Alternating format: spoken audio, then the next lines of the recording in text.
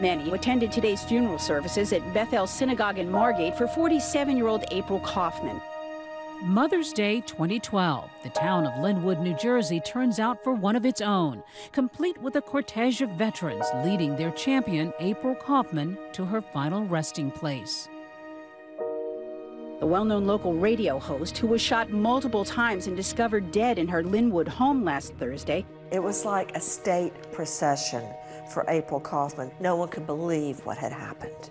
She just was so caring, so compassionate. She just was an inspiration to everybody. The loss heaviest for April's daughter, Kim.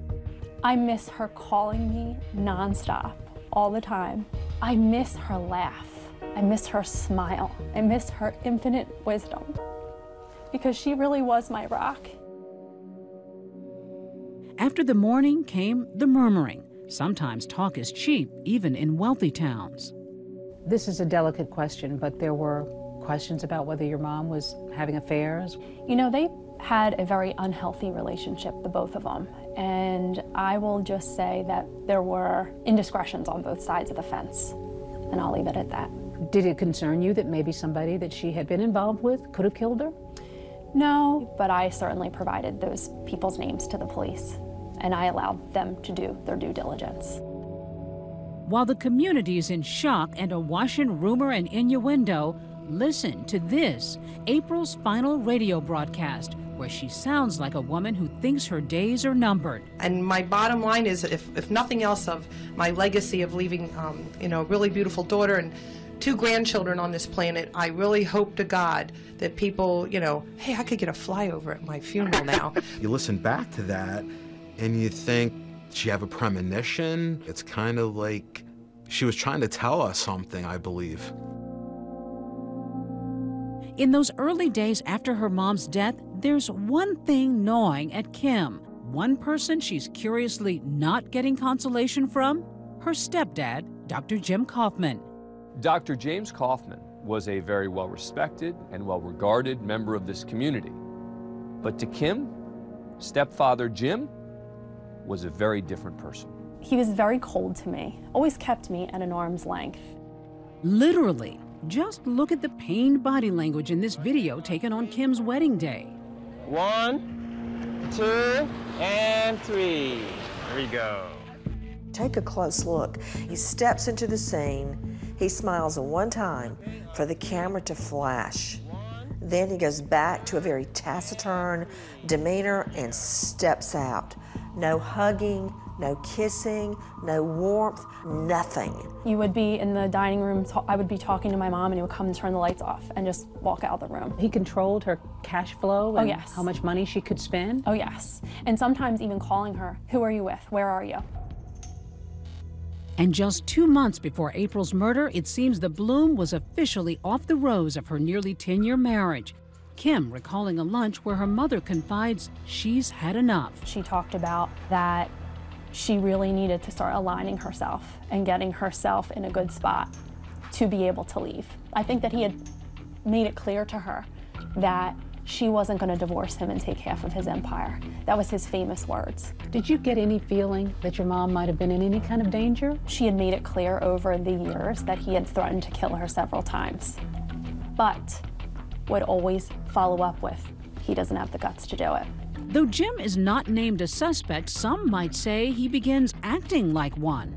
Within days of April's body being found, Jim hires a lawyer. Not only a lawyer, but the lawyer, a mob lawyer. Ed Jacobs, one of the biggest legal names in Atlantic County. He's even defended Bill Cosby in one of his sex assault accusations. He loves defending high profile criminal cases. His walls in his office are covered with news clips of himself.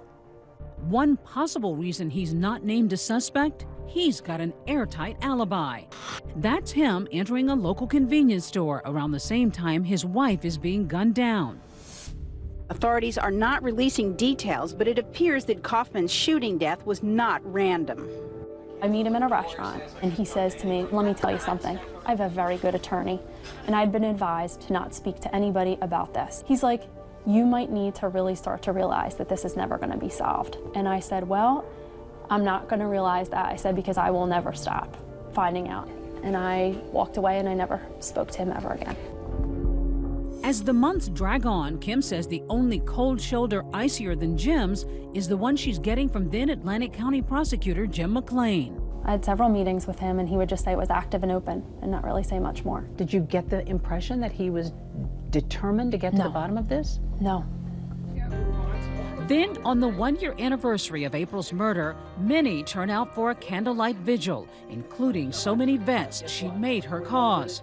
Noticeably absent, Dr. Jim Kauffman. He marks the milestone another way. We discovered that he was getting ready to auction off all of April's belongings and um, hadn't given anything to Kim. How crushing was that for you? Beyond, because the things that I asked for that belonged to my mother were family heirlooms or possibly Disney coffee mugs. With her mother and all those mementos lost, Kim tries to adjust to a new normal while raising her two young sons and holding down her job as a pharmaceutical sales rep. Marching through every single day, waking up with another day of hopelessness while trying to keep that glimmer of hope alive is, is a very tricky thing to do. Yet while life for Kim seems hopelessly on pause, for Jim Kauffman, it's full speed ahead. Just 15 months after his wife's murder, he ties the knot again. He remarries Carol Weintraub. When did that start? Now, the version we've gotten is that they started dating after April was found murdered. Now, that's some romance. April's friends and family were devastated, and they felt like it was a slap in the face. But the people who support Jim Kauffman say, you know, he's a widow, and he's moving on with his life. But Dr. Kauffman's next move sets off a chain of events that pushes Kim out of limbo. He went after my mom's life insurance policy. And your reaction? No way. Because you know what? This was my only attempt to maybe be able to get some answers, and the truth maybe would start to come out. Now it's Kim's turn to lawyer up. Believing Jim is the killer, she files a wrongful death suit against her stepdad to keep him from getting her mom's $600,000 life insurance policy. I have no choice to respond and to begin to fight for what I know is right. The most significant kind of civil lawsuit you can have is a wrongful death case. Coming up, a daughter undaunted, and the dynamic duo attorneys she hires begin digging into the case. And what they say they uncover is shocking. We were talking to people that were critical witnesses to us that had not spoken to the prosecutor's office. And their chance to grill the grieving good doctor. He was under oath in a civil deposition. They could ask him anything. Hi everyone, George Stephanopoulos here. Thanks for checking out the ABC News YouTube channel. If you'd like to get more videos, show highlights, and watch live event coverage, click on the right over here to subscribe to our channel and don't forget to download the ABC News app for breaking news alerts. Thanks for watching.